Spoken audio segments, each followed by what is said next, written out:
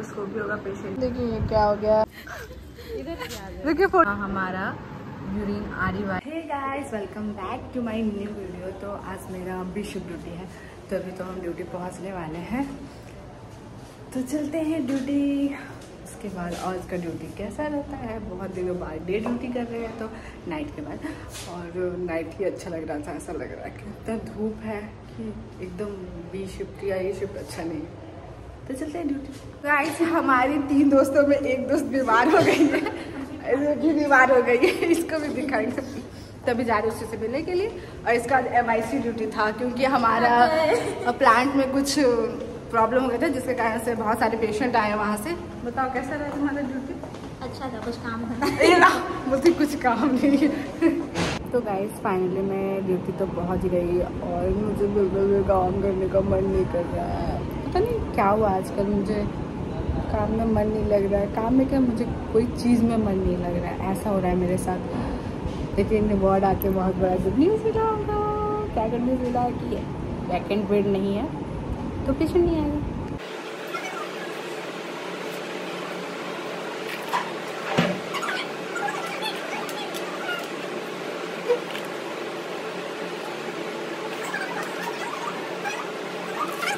तो guys finally अभी सारा मेडिकेशन कंप्लीट किया, बहुत ज़्यादा मेडिकेशन था और आज संडे है।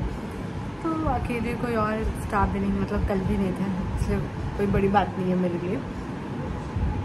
बस एक हम लोग दो ही है। सोचिए थर्टी टू का रेशियो में टू स्टाफ ही है हम लोग। तो अभी यहाँ पे मैं यूरिन सैंपल देने के लिए वाइल बना रही हूँ। पहले यहाँ कंप्यूटर में सैंपल नंबर जनरेट कर लिए यहाँ पे। उसके बाद अभी वाइल बना रहे हैं। हाँ हमारा यूरिन आरी वाइल जो वाइट कलर का रहता है और ये सी एस वाइल है जो रेड कलर का रहता है। तो यहाँ पे सारा लिखा हुआ रहता है नेम जो वार्ड सैंपल नंबर जो जनरेट किए ये सारा कुछ लिखना पड़ता है। और सी आर नंबर मोस्ट ये सारा कुछ उसके बाद पेशेंट को देना है पेपर के साथ वाइल और इसमें भी सेम चीज़ लिखा रहता है।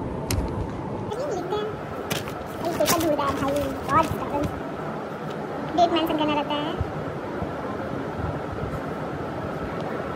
सारा नोट करके रखना पड़ेगा उसके बाद चलिए अब एक पेपर में नोट कर लेते हैं कि कल सुबह कौन कौन फास्टिंग रहेगा मतलब किसका किसका अल्ट्रासाउंड्स है और फास्टिंग ब्लड शुगर होगा या थोराइड का टेस्ट होगा लिपिड प्रोफ़ाइल होगा ब्लड सैंपल या किसी का इंडोस्कोपी होगा तो वो लोग को फास्टिंग बोलना पड़ेगा।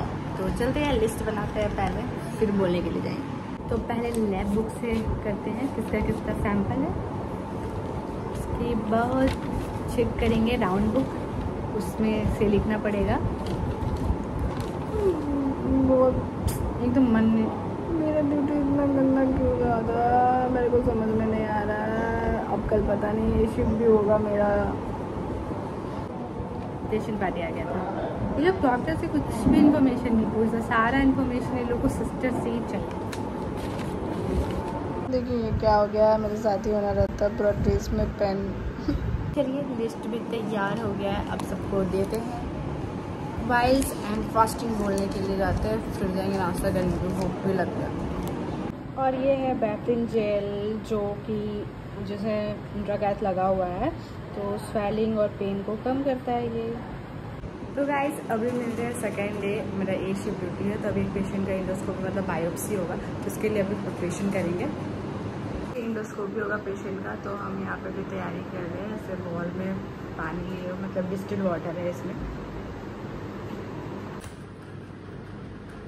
भैया आज हमारे लिए फ्राइड राइस लेके आए हैं।